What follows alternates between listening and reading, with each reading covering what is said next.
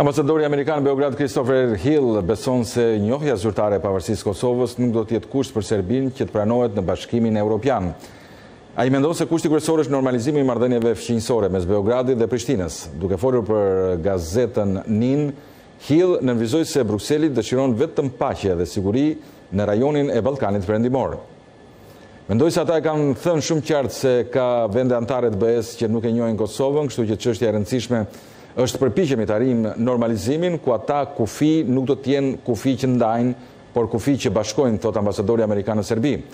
Megjithatë, Bashkimi Evropian ka komunikuar zyrtarisht se zbatimi i Marrëveshjes së Normalizimit, ku përfshihet edhe njohja de facto e Kosovës, është një kusht për Serbinë në kapitullin e tridhjetë e pesë të negociatave të anëtarësimit.